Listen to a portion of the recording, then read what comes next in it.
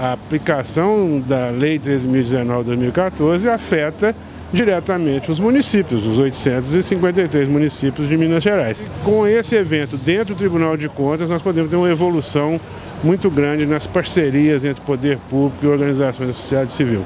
A lei deslocou os controles de meios antigos, que eram mais incidentes sobre as formas de execução, para o momento da pactuação. E aí, esses instrumentos são hoje orientadores do processo de execução para gerar o controle de resultados ao final na prestação de contas das organizações da sociedade civil em relação aos recursos públicos e as políticas públicas implementadas em parceria com a administração pública.